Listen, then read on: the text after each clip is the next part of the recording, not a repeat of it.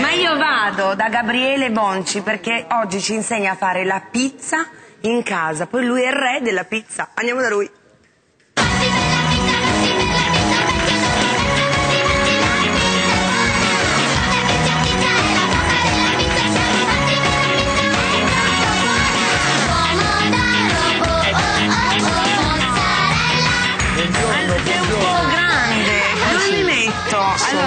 Lievitato anch'io. mi metto qui. Io mi metto qui. Tu Non- Elisa non hai problemi, pensa io che sparisco. Pensa tu, Anna. allora, Gabriele Bonci, l'abbiamo detto prima, Vogue America ti definisce il Michelangelo della pizza. Eh, sì. Ma a parte Vogue America, che poi gli americani davvero hanno molta Esagerano. fortuna. No, no, hanno molta fortuna ad assaggiare i nostri prodotti perché sono rimasti quasi gli unici intatti al mondo. Noi italiani cosa diciamo, Anna?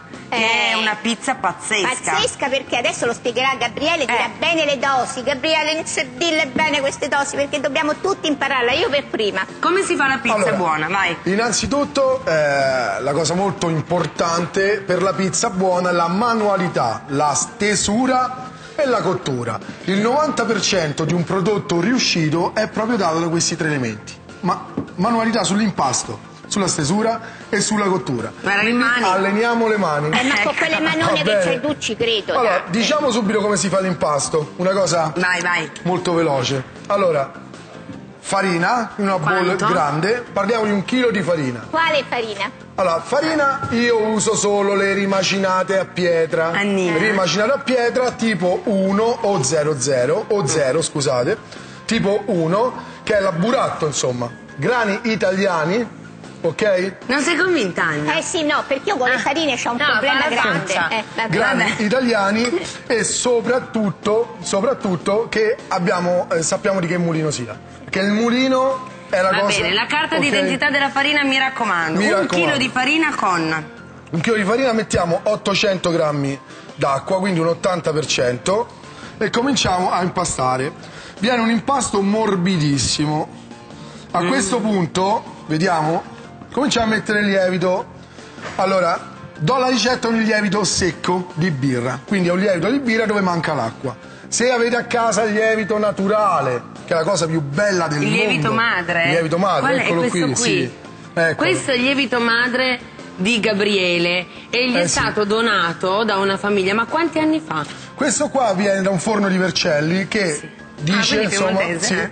che dice che praticamente è stato, è stato un soldato panificatore della prima guerra mondiale. Così si E dalla dice. prima guerra mondiale è arrivato fino a Ah, qua. fino a oggi e sì, come sì. si fa? Basta rigenerarlo, portarlo in vita, tenerlo avanti. Quindi E come si aggiungiamo, allora, allo stesso peso del lievito si aggiunge la farina e il 50% è uguale a acqua. Noi gli diamo da Ah, mangiare gli diamo perché da dentro mangiare. c'è una popolazione stupenda di batteri. Eh? Che cosa fanno loro? Vedete? È Ma importantissimo. non gli hai fatto male così l'hai tagliato? Assolutamente no. Va bene. Questa è soltanto una, una casetta per loro. Fermo, fermo. Va bene? Eccolo qui. Qua Questo è dentro lo ci sono i batteri, quelli buoni, che ci Noi fanno- gli diamo da mangiare, quindi loro mangiano zucchero Ecco. e riproducono anidride carbonica. Tu di, quanto- di quanti anni ce l'hai? Eh, me l'ha dato Gabriele. Solo, Ah, solo ecco. che io ho un problema, Gabriele. Domenica ho fatto, avevo un chilo di lievito madre, ho fatto tanto di quel pane che credo che nel mio palazzo era diventato un Ma anche la prova del cuoco ha mangiato solo il pane della Moroni, quindi va Allora, bene. Continuiamo con l'impasto? Sì. Ok, gli diamo tutta quanta l'acqua e lo facciamo diventare una pastella. Non ci mettiamo paura se l'impasto è liquido, se si appiccica alle mani e quindi non aggiungiamo mai altra farina. Lo teniamo abbastanza morbido, proprio così.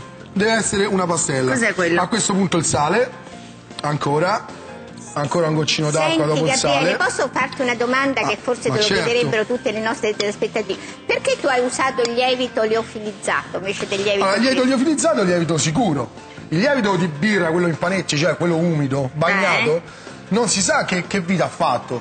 Se chi l'ha portato da- dall'alimentare in un furgone ha dato spazi di temperatura. Il liofilizzato rimane fermo. Rimane sta lì. Certo. Ok. Olio? Olio Quanto? a questo punto. e Bastano due cucchiai. Va ok. bene. Mettiamo l'olio e manteghiamo.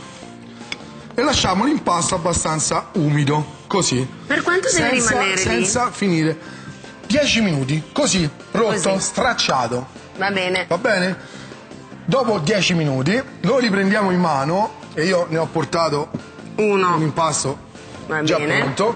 Lo riprendiamo in mano, vedete com'è morbido? È morbidissimo. E gli diamo Cioè, una è più morbido, io l'ho toccato del, del mio e gli cuscino. diamo una piega, ok? Le pieghe servono ad asciugare l'impasto.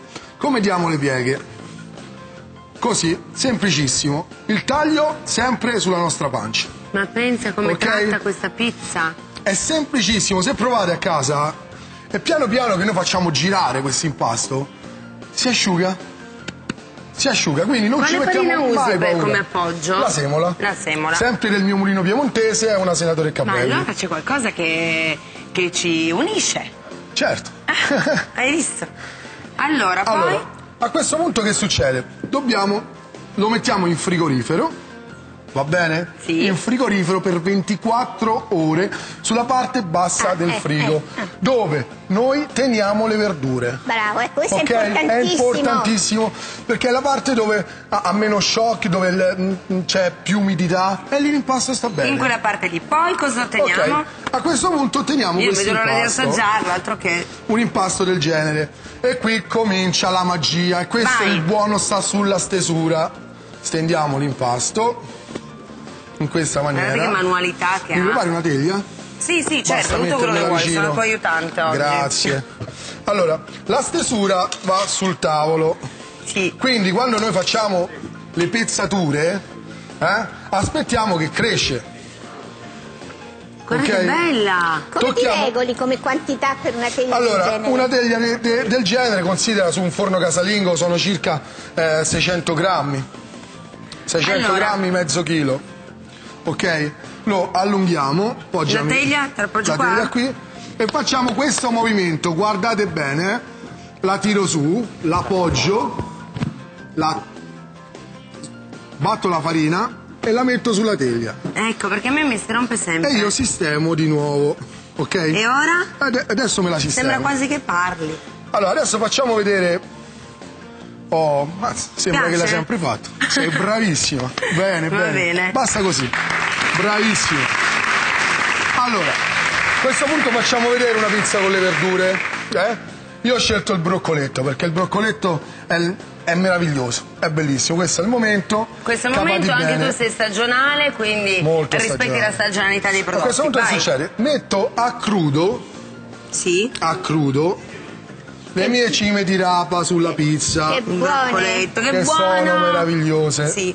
Ok? Il broccoletto ha questo sa- sapore di crème, di, di, di rapa, di è amaro, quindi manteniamo tutti Ah, ma quanti suoi questa è una pizza ripiena. Questa è una pizza ripiena. Non Senti, mica ci metti né olio né sale? Non ci Niente. voglio mettere niente perché la voglio cuocere con il vapore stesso. Mamma mia. Anche perché, In due minuti ce la facciamo? ma ce l'ho già pronta, dopo la Ah, eh, tagliamo. sì, sì. Allora a questo punto la metto ancora sopra.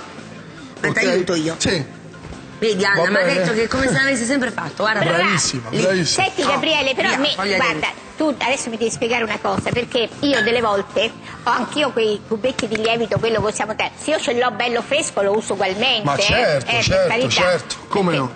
eh, A questo punto metto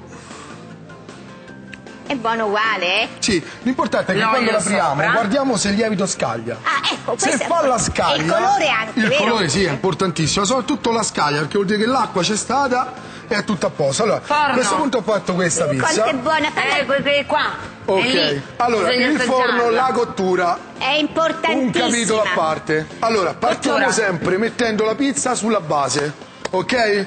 Quindi sotto. A metà cottura ci regoliamo, da qui passa nella parte sopra, perché ha bisogno della spinta. Il forno massimo calore è Massimo acceso calore. quanto tempo prima? Lo dobbiamo accendere mm, finché non raggiunge il calore, quindi basta un quarto d'ora prima. Allora, guarda, ti faccio passare di qua. Ok. Anna, grazie per tutte queste domande. Meno male che ci sei tu. Ma no, perché io sono fissata con la pizza, tesoro mio, È tu lo sai, bellissima. so più da e fare con la col ditino? E per quanto tempo? Allora, Togliamola il tempo, il tempo è, se- è praticamente bastano eh, 20 minuti, un quarto d'ora. Guardate se la mettiamo in quella maniera, il broccoletto, guardate come rimane. Eh, eh. Spettacolare. Se si sente il profumo riesce a sentire tutto, proprio la Alle 20. storia della rapa, la massima fluorescenza. Senti, la rapa. È spettacolare, stupendo, aspetta un attimo. Intanto questa è una pizza super digeribile, Se io lavorata in posso dire modo. una cosa Elisa, io Eh. conosco Gabriele da tanto, da tanto tempo, ma lui è proprio innamorato del lavoro che fa, innamorato dei prodotti che usa. Perché E della se- gente che mangia soprattutto, che che sa mangia. mangiare. Che è quello Bravo! Gabriele sei stato fantastico, fate la pizza come la fa lui, grazie Nino per le tue domande così Tino così. Bravo Gabriele, questa Grazie. pizza è super.